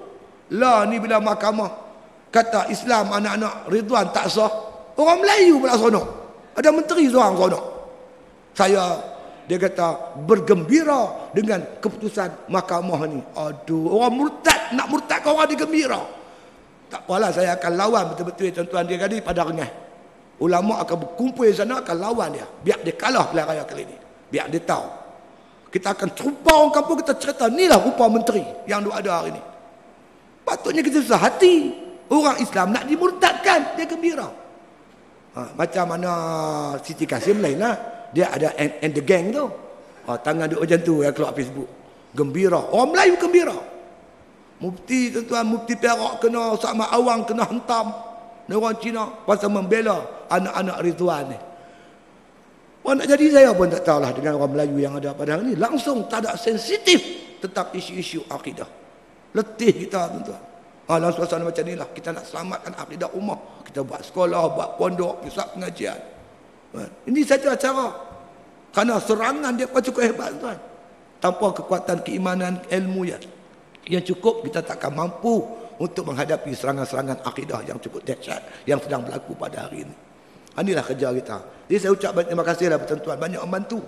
Setiap kali saya datang, tuan bagi derma. Saya gunalah duit tu, tuan insyaAllah untuk menjana ekonomi, untuk pembangunan, untuk pengurusan dan sebagainya. Hanya Allah lah boleh balas semua tu. Termasuk membeli barang-barang jualan. Minta maaf, teluk masih hari ini saya dimaklumkan tak ada. Bukan tak ada apa. Itik tu dah tua. Jadi dia berteluk pun setengah timba ya. Setengah timba. Lepas tu tuan, saya sebelum tu saya cuba cover. Saya masuk itik baru. Jadi luar jangkaan kita. Kita ingat bila habis teluk ni, dia bertelur. Tak bertelur-telur lagi. Patutnya bertelur dah. Tapi tak bertelur lagi. Coba macam mana dia tak bertelur. InsyaAllah bulan depan mungkin dia bertelur lah kot. Kan? kita tukar tu. Dia punya tu, apa, dia, jangkaan kita tak jadi. Macam yang sepatutnya. Kan? Wallahu bismillahirrahmanirrahim. Alhamdulillahi rabbil alamin. Wassalatu wassalamu ala ashrafil anbiya'i wal mursalin wa ala alihi wa sahbihi ajma'in. Allahumma inna nas'aluka imanan kamila wa nas'aluka qalban khashi'a wa nas'aluka yaqinan sadiqa Ana as'aluka ilman nafi'ah Ana as'aluka amalan salihah. Ana as'aluka al-afwa wal afiyah wa nas'aluka tamamal afiyah. Ana as'aluka syukra alal afiyah. Ana as'aluka ghina anin nas. Da'wahum fiha. Subhanakallahumma wa tahiyyatuhum fiha salam. Wa akhiru da'wana anil hamdulillahi alamin. Takbir.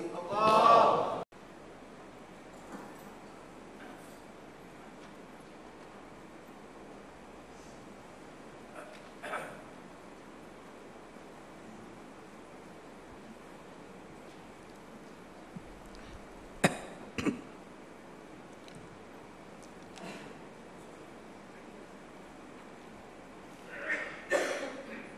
Keempat eh, keempat. Kau-kau makruh dilakukan. Mereka yang ada janggut. Makruh mencabut segala janggut atau setengahnya. Kerana datang hadis daripada Sayyidina Umar Ibn Khattab radhiyallahu an Al-Madinatu syahadah man kana yantifa man kana yantifu li, hayyatihi Artinya bermula negeri Madinah itu jadi saksi pada hari kiamat akan seorang mencabut akan janggutnya. Ha, ini kelima. Jangan cabut janggut. Mana bila cabut tu, makna kata dia makin kurang lah. Kalau gunting tak apa. Ya, cukup tak boleh. Dia mesti ada juga janggut tu kena ada. Cabut atau cukup tak boleh. Kalau gunting, kalau lebih had panjang dia, kita gunting tu tak apa dilarang. Kerana di akhirat besok Madinah negeri Madinah akan menjadi saksi mereka yang mencabut janggutnya. Ha, mengikut hadis daripada Umar Al-Khattab. Kelima makruh mengurangkan janggut pada adat daripada adat yang pertengahan. Dan lebih akan dia daripada adat yang pertengahan. Makruh mengurangkan janggut daripada makna kata pertengahan ada sejemput sikit ya. ada dia di tak tahulah mufti ni ada janggut tak mufti? Ada mufti tak ada janggut dulu masa Syedan Kasim ah, dia jadi menteri apa, menteri besar pelik. Jadi masa tu dia sekarang saya tak tahulah dulu mufti tu dia dia bertaraf esko dia bertaraf esko ha, jadi esko-esko kerajaan negeri Perlis ni dia kena masuk watania masa Cik Dan Kasim. Bila masuk watania kena kena cukup jagut ha, jadi mufti masuk watania dia pun kena cukup jagut. Ha, cukup jagut tak boleh. Ha, kerat tak apa. Lebih pada had kita boleh kerat. Cukup jadi hukumnya makruh. Itu mazhab kita lah. Tapi kalau Imam Hanafiah Imam Abu Hanifah bagi dia hukumnya haram. Cukup janggut tu Kan? Kerat boleh. Ha, cabut, cabut tu macam cukup lah. Ha, cabut, cabut tu pula jadi tinggal sikit. Daripada beradat. Maka hukumnya makruh. Begitu juga.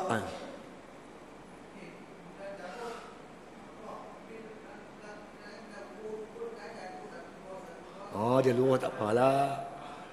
Janggut panjang ni Om Tina nak urut. nak pegang tak ada tempat lah. Lagi dia pegang lah. Ha, lurus tu tak apa. Dia bukan cabut. Yang tu dia lurut, dia lurut, dia urut tak apa. Jangan dia cabut. Ha, saja cabut cup cup cup jangan cabut tak boleh. Ha, urut lurus, lurus sendiri tak apa. Ha, dia lurus tu dia, dia ganti lain tu, tu boleh. Ha, dia tak mau cabut. ya. Ha, jadi uh, makna kata pertengahan ataupun kita kita biar panjang sangat pun tak elok ataupun pendek sangat pun tak elok. Terlampau pendek pun tak elok. Yang eloknya pada adat yang pertengahan ha, ya. makruh mengurangkan janggut daripada adat yang pertengahan. Dan melebih akan dia daripada adat yang pertengahan. Ha, lebih sangat pun tak apa elok kurang sangat pun tak apa elok. Yang elok pertengahan. Kerana sabda Nabi SAW khairul umuri awsatuha. Artinya bermula sebab baik pekerjaan itu pertengahan. Orang panggil apa? Over over. Over tak boleh lah. Ha, jadi pertengahan. Jadi orang mana nampak keterampilan itu nampak? Sebagai seorang muslim kan? Ha, ha. dia berjanggut pun ada. Tengok macam askar-askar pun ada juga janggut dia. Ha, nampak hebat lah keenam makruh menyisir janggut kerana bercantik-cantik supaya dipuji oleh orang akan dia. Jadi hukum asalnya sikat kita sikat janggut tu tak apa elok.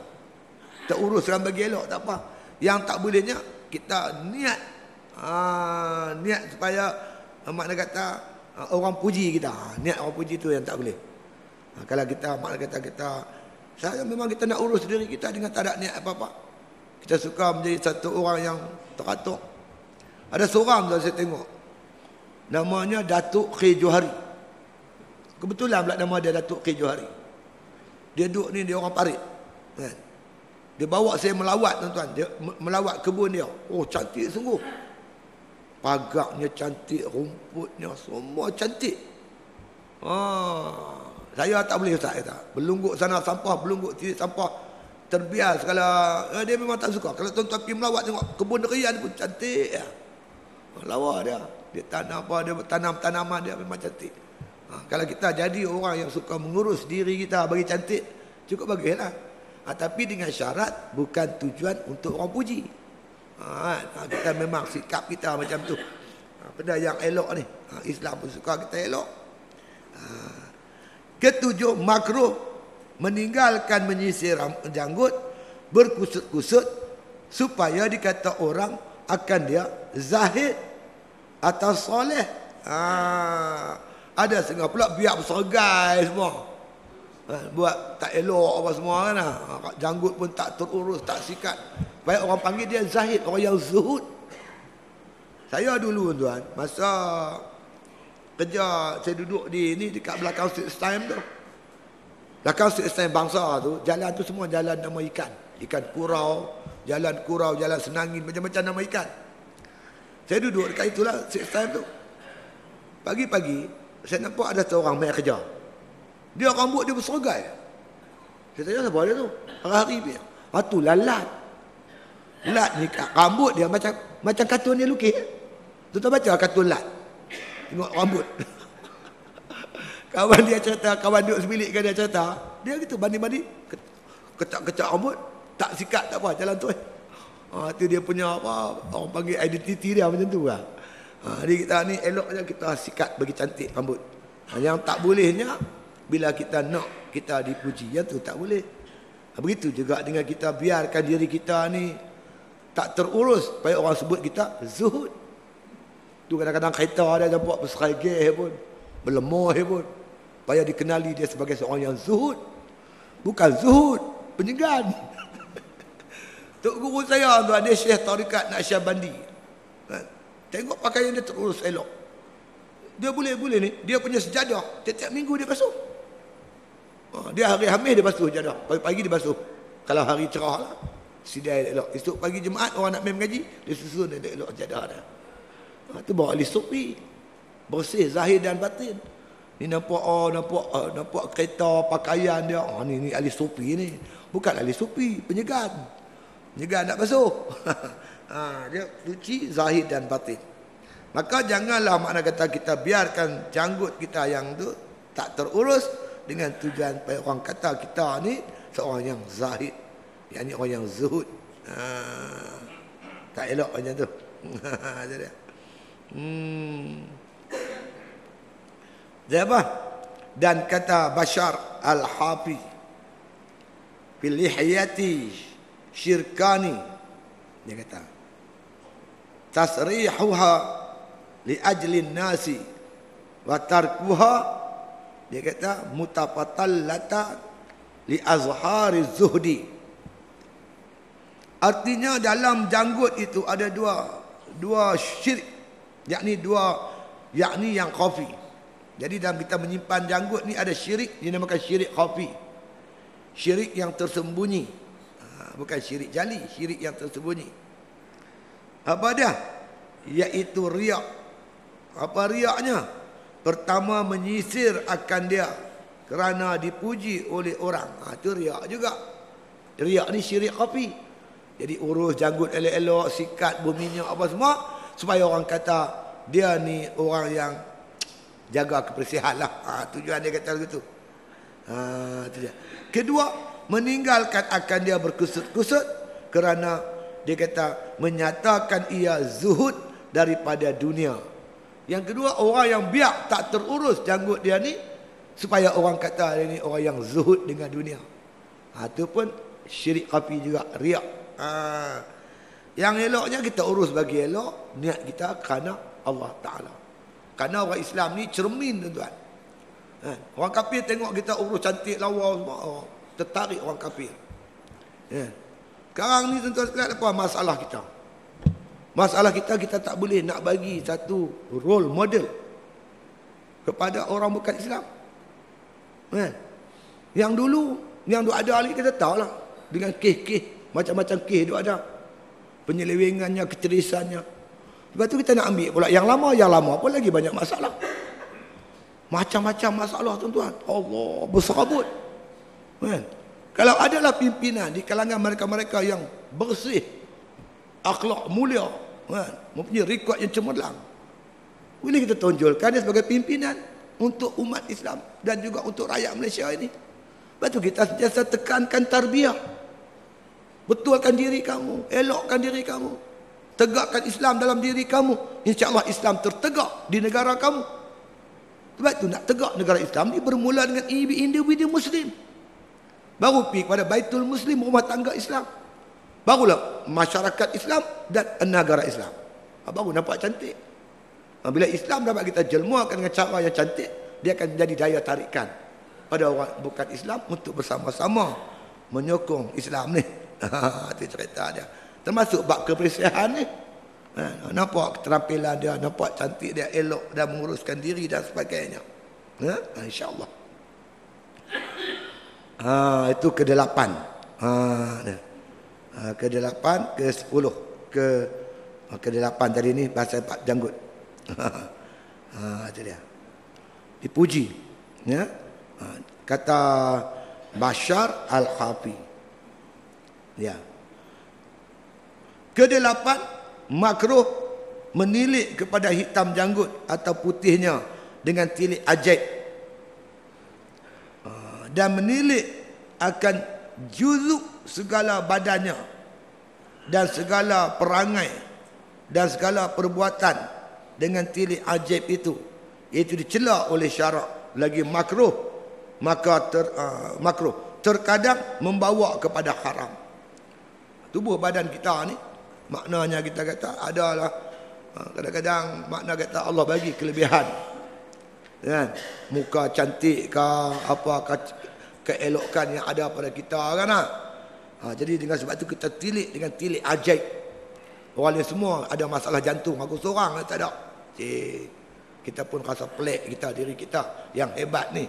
Kita ada kekuatan muka kita cantik ha. kita pandang dengan pelik ajaib ujub. Tapi kalau kita pandang ni anugerah Allah Ta'ala ha, tu tak apalah ha, jangan pandang kebaikan kecantikan yang ada pada badan kita ni dengan pandangan yang ajaib tapi kita pandanglah ni nikmat daripada Allah Subhanahu Wa Ta'ala balik kampung tuan-tuan tengok kawan-kawan macam-macam macam-macam masalah ha, ada yang kencing manis duduk atas kursi roda ada yang kena potong kaki ha, kita ni tua pada mereka kita tengok kita ni Alhamdulillah lah. Syukur banyak-banyak kepada Allah Ta'ala. Jangan rasa ajaib. Ha, mereka mana tak kena potong kaki, makan gula banyak. Lah tak makan gula pun kena. Tuan. Nak mati ni bukan nak ni bukan. Ada kawan tu tuan dia pi dia pi klinik. Dia pi klinik. Dia benar tiap-tiap tahu dia cek. Cek. Doktor cek. Kita pun kena cek juga. Kadang-kadang tersumbat jantung kita, kita tak perasan. Cek-cek doktor kata semua clear buah pinggang sehat, jantung elok, semua elok. Dia keluar-keluar daripada daripada klinik senyum. Pasal apa senyum? Semua elok. Kan? Lintas-lintas jalan, kereta belah. Mati tu. Ha. Dia tak ada sakit jantung, tak ada masalah buah pinggang, tak ada kencing manis, tak ada kolesterol. Nak mati, kena langgar, mati juga. Ha. Nak mati ni kan dia kira sakit jantung ke apa, kan dia tak kira. Ha, jadi oleh itu kita jangan bangga dengan diri kita ni. Ingat semua ni nikmat Allah Subhanahu wa taala. Tapi yang pentingnya kita kena bersedia untuk mati. Bukan mati yang ada penyakit ya, yang tak ada penyakit pun boleh mati bila sampai masa yang dikendaki oleh Allah Subhanahu wa taala. Ha, jangan pandang dengan tilikan ajaib. Ha, kerana kata ulama ha, itu semua tu makna kata ha, itu semua tu dia kata perkara-perkara yang boleh membawa kepada kepada makruh. Bahkan kadang-kadang dia kata menjadi perangai macam tu boleh jadi haram. Kesembilan, harus dia kata memutihkan janggut dan dia kata menguningkan akan dia, menguningkan janggut kerana perang sabilullah supaya menghebah menghebah ni bagi nampak hebah hebat akan kufar Maka jika tiada demikian itu, maka iaitu dicela oleh syarak. Dan kata setengah ulama, dia kata sunah, sunat memerahkan janggut. Jikalau bukan kerana menghitamkan akan kafir, meng, bukan kerana menghebatkan akan kafir sekalipun, uh, dengan khasat mengikut sabda Nabi sallallahu alaihi wasallam jua. Dan jangan mengkhasatkan yang lain daripada itu. Uh, lain daripada itu. Dan jangan mengkhasatkan yang lain daripada menghitam menghebahkan kafir. Dan sungguhnya bersabda Nabi SAW dengan katanya asufratu qitabul muslimin. Wal humratu qitabul mu'minin. Bermula mencabut mencelup janggut dengan kuning iaitu pakaian akan muslim. Dan mencelup janggut dengan merah itu iaitu pakaian dia kata bagi mukminin dan adalah mereka itu mencelup janggut merah itu dengan hinai dan mencelup janggut kuning dengan kema-kema. Kema-kema ha? bukan koma-koma kema-kema ni dia macam kunyit lah kunyit. Ha, dia macam kunyit pokok dia macam pokok kunyit. Kema-kema nama. Ha, jadi celup dia tu dia jadi macam inai dia tukar warna kuning. Dan haram. Dia kata mencelup janggut yang putih dengan hitam dan Allah setengah ulama mencelup janggut dengan hitam kerana perang sabil dan demikian itu tiada mengapa dengan dia apabila dia kata benar niatnya dan tiada ada dalamnya itu hawa nafsunya dan syahwatnya ha, jadi yang ke yang mana kata yang ke sembilan ni berkaitan dengan celup janggut. Jadi boleh dicelup janggut dengan warna kuning ataupun warna merah. Termasuk boleh celup dengan warna hitam kalau untuk tujuan perang sabil. Ha, tapi kalau tak perang, bukan kerana perang, boleh celup dengan warna kuning, warna merah kerana mengikut mak kata apa sabda Nabi. Nabi suruh, Nabi kata boleh mencelup janggut dengan kuning ataupun merah. Jadi kalau kita nak celup janggut kuning dan merah, letakkan dia punya niat kerana nak ikut sunnah Nabi sallallahu alaihi wasallam. Ha, kalau tujuan lain tu tak boleh. Ataupun tujuan berperang. Ha, supaya nampak makna kata hebatnya ha, kita ni, hebatnya Islam ni menggerunkan musuh-musuh Allah Subhanahu wa taala. Kalau bukan dengan tujuan tu tak dibenarkan oleh oleh syarak. Ha. Jadi nak buat lagu mana? Yang tak ada janggut ni simpan-simpanlah janggut. Eh dapat pahala tuan. Bukan gaduh buat apa. Simpan dia janggut dapat pahala dah.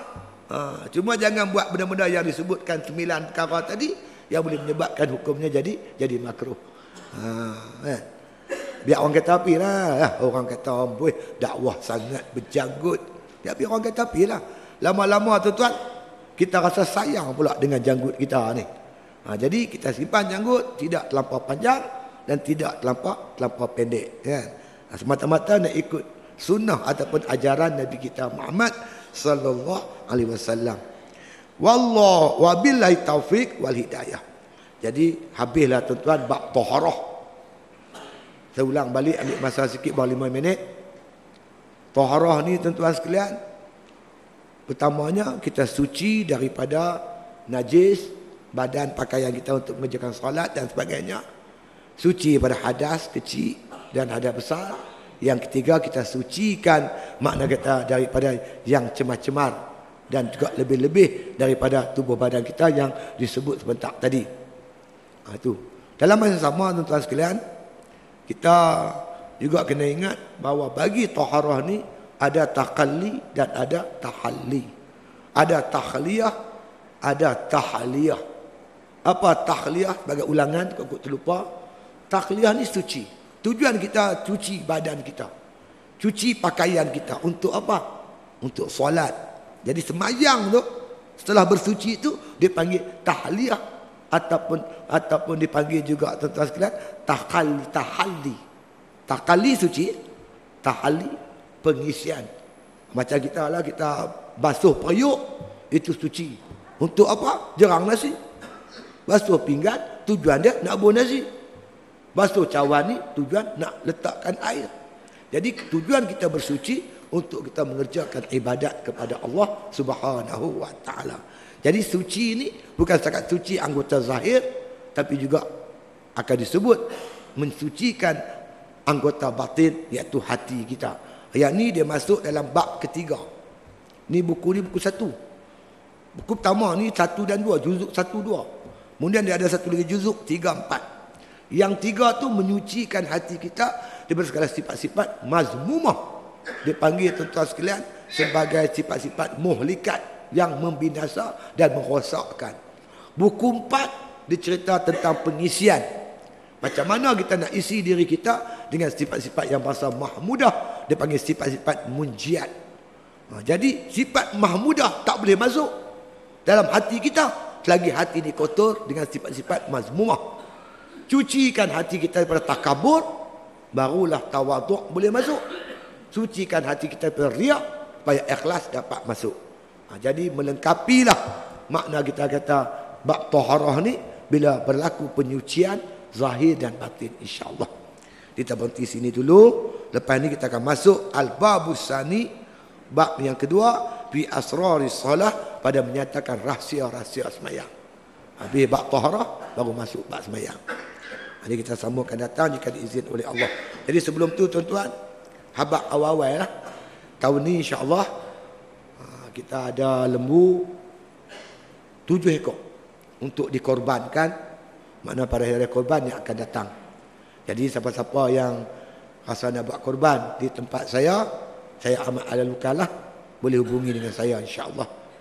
Ha, tuan boleh datang pada hari korban tu boleh ambil daging dibawa balik sebahagiannya dan sebahagian lagi kita bagi kepada orang miskin, orang kampung sekitarnya dan sebahagian lagi kita kita bagi kepada pelajar tahfiz kita ha, untuk mereka makan sepanjang pengajian mereka di ma'had kami tu insya-Allah.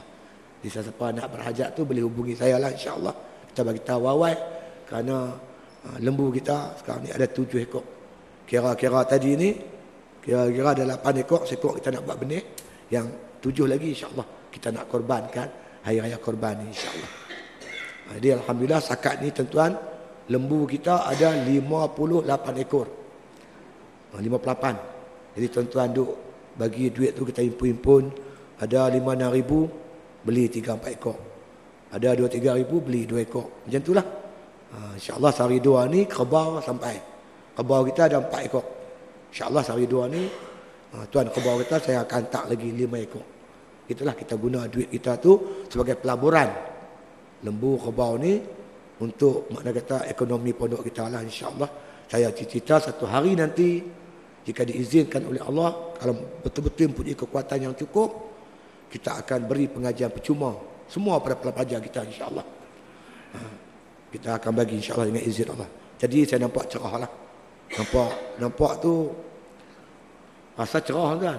Jadi saya ni kalau hati tu rasa sedap, ya rasa jadi. Masa nak kahwin tu betul tak? hati tu rasa, rasa ringan ya. Dia jadi sungguh. Ha, dia jadi sungguh. Ha, isteri saya yang keempat tu, isteri ketiga pergi Minang. Rasa mula berat. Awak tak berat. Umur dia dengan umur saya beza 40 tahun. Ha, masa kahwin tu dia baru 17. Saya dah 57. Ay, tak boleh pi, saya kata tak boleh pi. Ha. Ha, tapi hati tu rasa macam ringan pula. Tahu macam mana isteri saya yang ketiga kata, tak apalah bang, saya pi Minang dia kata. Oh, nombor tiga apa? Nak pi Minang, oh? Pi pi nombor tiga Minang, mak dia begitu terus ya. Ha, jadi bab lembu ni pun rasa macam tu. Rasa ringan di hati. ha, rasa macam nak jadi ni kata. InsyaAllah lah tuan-tuan. Dengan izin Allah. Cuma minta tuan-tuan tolong doa.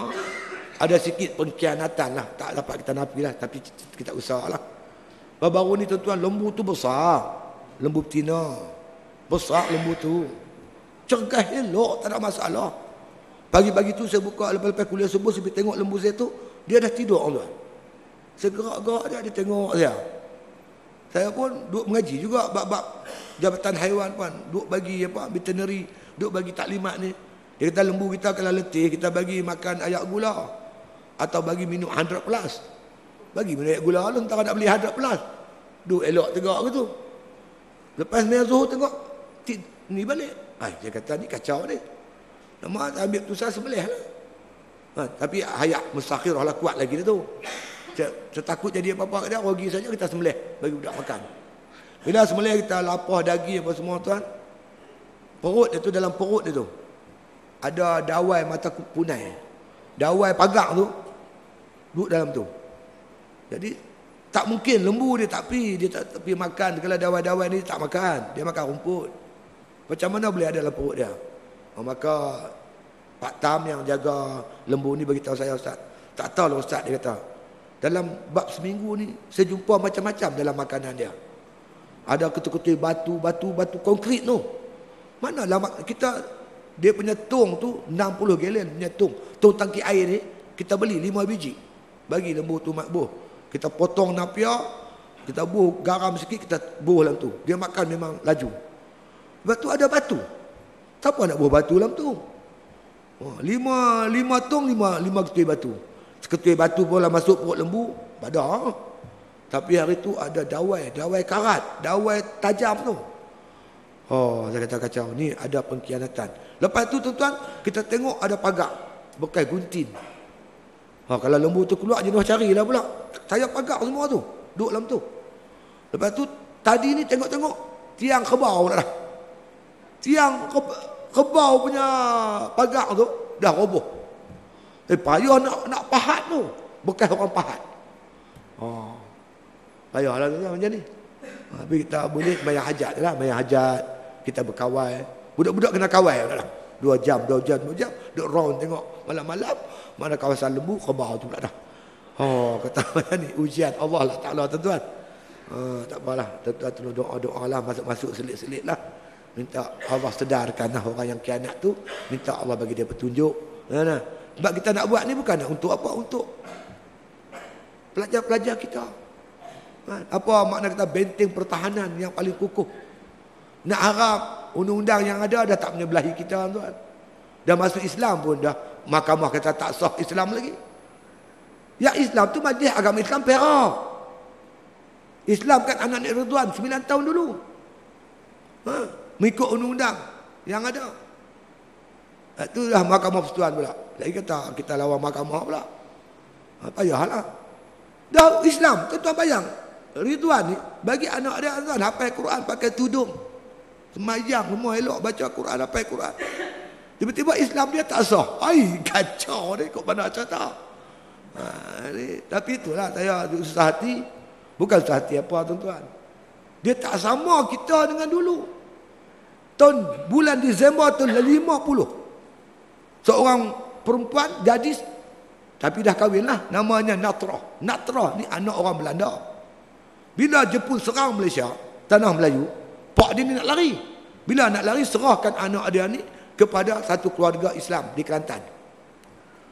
Lepas tu dia besarkan Natrah dengan agama apa semua. Kemudian sampai masa bagi kahwin. Datang pak dia balik ke mati, tuntut balik anak dia. Kalau anak dia diserahkan balik kat dia, tentulah anak tu masuk Kristian. Jadi Kristian. Bercara-bercara berkali bercara, akhirnya bercara di Singapura. Bulan Disember, sebelah Disember, tahun 50. Saya ingat lagi sejarah tu. Tuan-tuan sekalian, hakim buat keputusan bahawa natrah mesti diserah kepada bapa asal dia. Allah tuan-tuan. Natrah perlu mak angkat dia, dia tak mau. Jangan murtadkan dia dia kata. Jadi orang dalam mahkamah tu tuan-tuan sekalian dia tengok situasi itu semua bangkit merusuh. Nak mempertahankan polis tarik natrah. Mereka wak lari. Natrah. Ha, jadi dah jadi haru biru dalam mahkamah. Ada seorang polis tuan dia pakai dia polis, dia buang uniform dia. Dia menyertai umat Islam menentang kemurtadan, usaha untuk murtadkan Natrah. Itu dulu. Lah ni bila mahkamah kata Islam anak-anak Ridwan tak sah, orang Melayu pula sono. Ada menteri seorang sono. Saya dia kata bergembira dengan keputusan mahkamah ni. Aduh, orang murtad nak murtadkan orang digembira. Tak apalah saya akan lawan betul-betul tuan-tuan dia tadi pada rengah ulama akan berkumpul di sana akan lawan dia biar dia kalah pilihan raya kali ini biar dia tahu kita akan terupah orang kampung kita cerita inilah rupa menteri yang ada hari ini patutnya kita susah hati orang Islam nak dimurtadkan dia gembira Ha, macam mana Siti Kasim lain lah. Dia ada and, and the gang tu. Ha, tangan dia macam tu yang keluar Facebook. Gembira. Orang Melayu gembira. Mufti tuan-tuan, mufti Perak kena sama awang kena hentam. Ni orang Cina pasal membela anak-anak Ridwan ni. Orang nak jadi saya pun tak tahulah dengan orang Melayu yang ada pada hari ni. Langsung tak ada sensitif tentang isu-isu akidah. Letih kita tuan-tuan. Ha, dalam suasana macam inilah kita nak selamatkan akidah ummah. Kita buat sekolah, buat pondok, pusat pengajian. Ha, ini saja cara. Kerana serangan dia pun cukup hebat tuan. Tanpa kekuatan keimanan ilmu yang, yang cukup, kita takkan mampu untuk menghadapi serangan-serangan akidah yang cukup dahsyat yang sedang berlaku pada hari ini. Inilah kerja kita. Jadi saya ucap terima kasihlah tuan-tuan. Banyak membantu. Setiap kali saya datang, tuan bagi derma. Saya gunalah duit tu, tuan insyaAllah untuk menjana ekonomi, untuk pembangunan, untuk pengurusan dan sebagainya. Hanya Allah lah boleh balas semua tu. Termasuk membeli barang-barang jualan. Minta maaf, teluk masin hari ni saya dimaklumkan tak ada. Bukan tak ada apa. Itik tu dah tua. Jadi dia berteluk pun setengah timba ya. Setengah timba. Lepas tu tuan, saya sebelum tu saya cuba cover. Saya masuk itik baru. Jadi luar jangkaan kita. Kita ingat bila habis teluk ni, dia bertelur. Tak bertelur-telur lagi. Patutnya bertelur dah. Tapi tak bertelur lagi. Coba macam mana dia tak bertelur. InsyaAllah bulan depan mungkin dia bertelur lah kot. Kan? kita tukar tu. Dia punya tu, apa, dia, jangkaan kita tak jadi. Macam yang sepatutnya. Kan? Wallahu bismillahirrahmanirrahim. Alhamdulillahi rabbil alamin. Wassalatu wassalamu ala ashrafil anbiya'i wal mursalin wa ala alihi wa sahbihi ajma'in. Allahumma inna nas'aluka imanan kamila wa nas'aluka qalban khashi'a wa nas'aluka yaqinan sadiqa Ana as'aluka ilman nafi'ah Ana as'aluka amalan salihah. Ana as'aluka al-afwa wal afiyah wa nas'aluka tamamal afiyah. Ana as'aluka syukra alal afiyah. Ana as'aluka ghina anin nas. Da'wahum fiha. Subhanakallahumma wa tahiyyatuhum fiha salam. Wa akhiru da'wana anil hamdulillahi alamin. Takbir. Allah.